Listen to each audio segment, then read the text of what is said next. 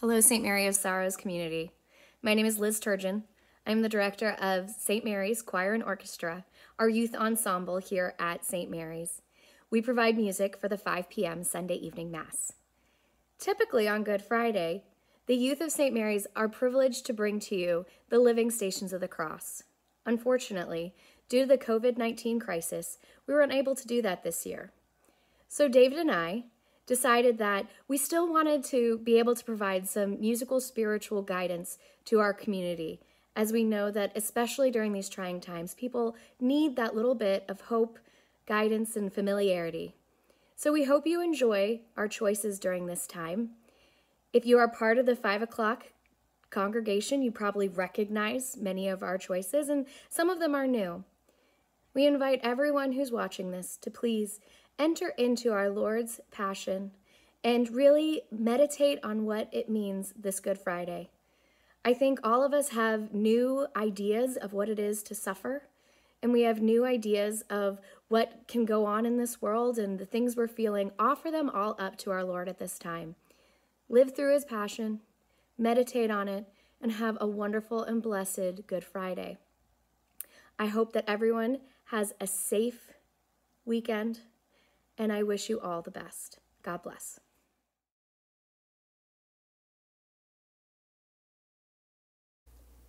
Then Jesus came with them to a place called Gethsemane, and he said to his disciples, Sit here while I go over there and pray.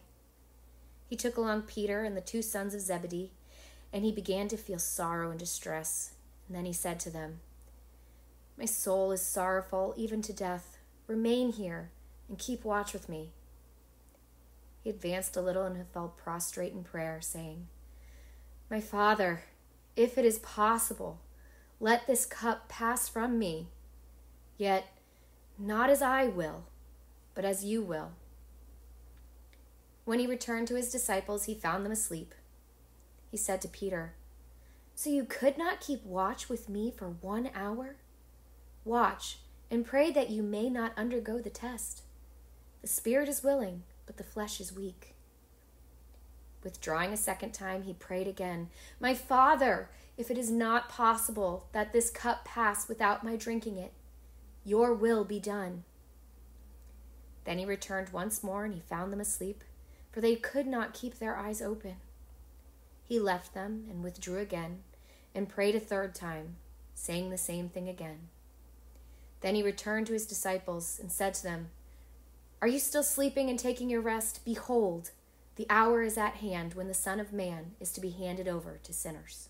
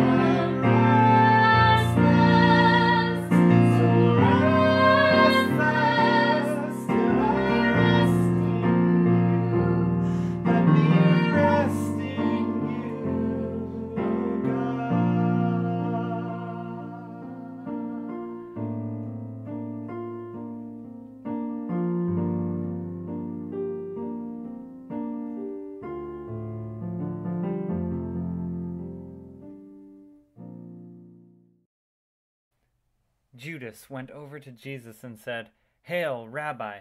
And he kissed him. Jesus answered him, Friend, do what you have come for. Then, stepping forward, they laid hands on Jesus and arrested him. Then all the disciples left him and fled. Those who had arrested Jesus led him away to Caiaphas the high priest, where the scribes and the elders were assembled. Peter was following him at a distance, as far as the high priest's courtyard, and going inside, he sat down with the servants to see the outcome.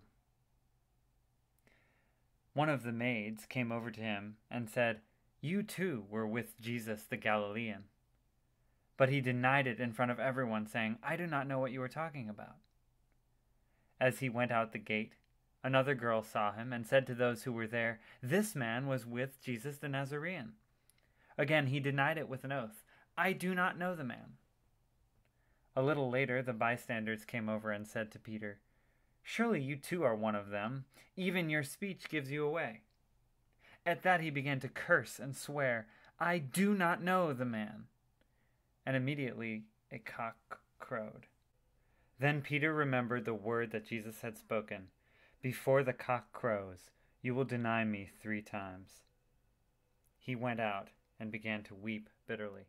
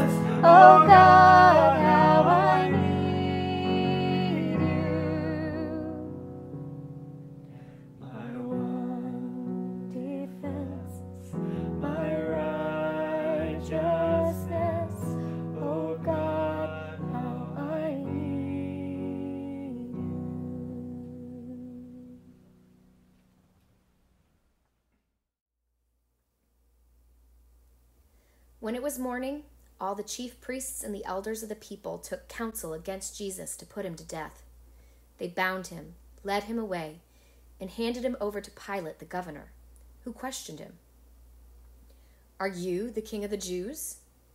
Jesus said, You say so. And when he was accused by the chief priests and elders, he made no answer. Then Pilate said to him, Do you not hear how many things they are testifying against you? But he did not answer him one word, so that the governor was greatly amazed. Now, on the occasion of the feast, the governor was accustomed to release to the crowd one prisoner whom they wished. And at that time they had a notorious prisoner called Barabbas. So when they had assembled, Pilate said to them, Which one do you want me to release to you? Barabbas or Jesus called Christ? For he knew it was out of envy that they had handed him over. They answered, Barabbas!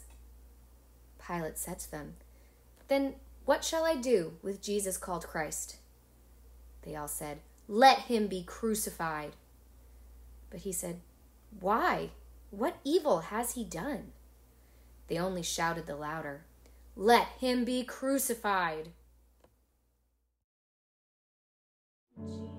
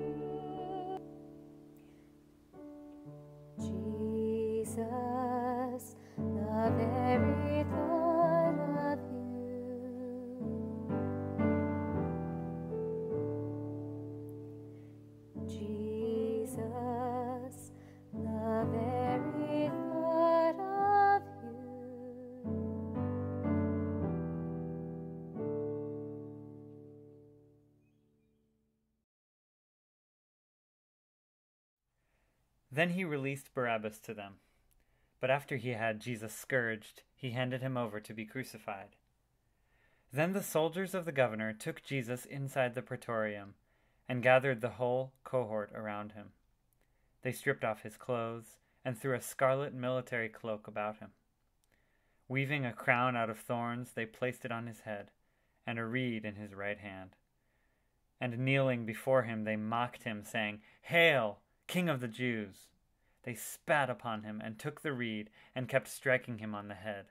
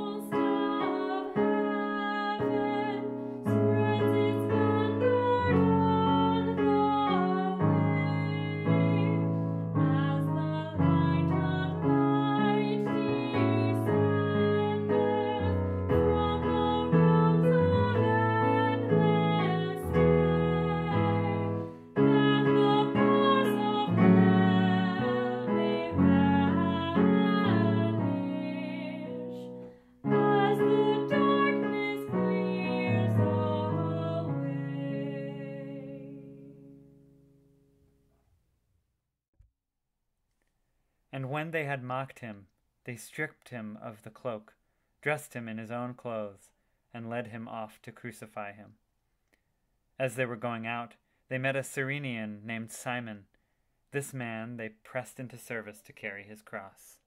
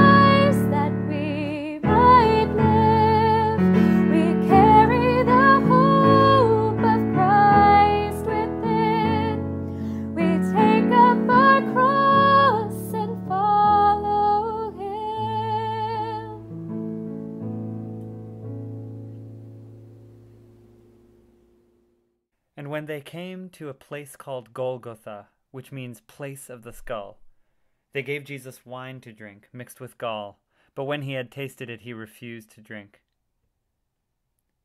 After they had crucified him, they divided his garments by casting lots. Then they sat down and kept watch over him there. Above all powers, above all kings, above all nature and all created things, above all wisdom and all the ways of man. You were here before the world began. Above all kingdoms, above all thrones, above all wonders the world has ever known, above all wealth and treasures of the earth.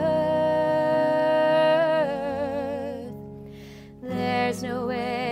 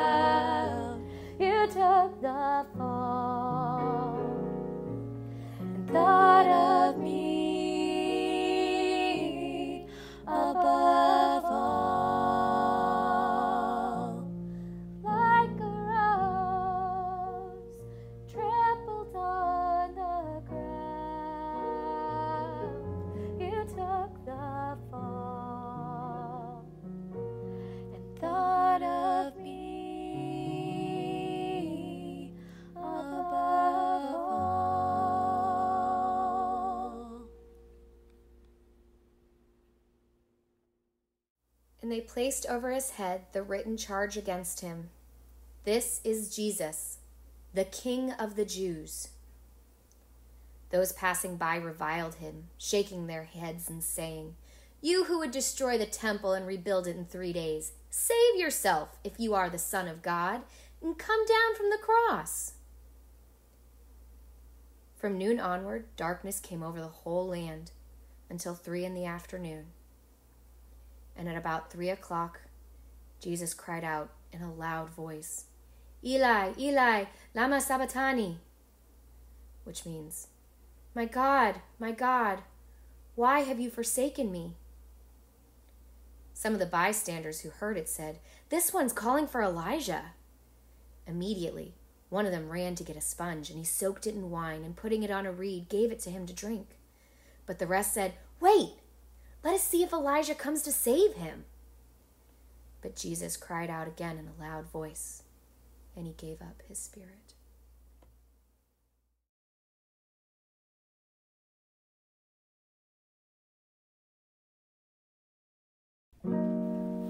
My God,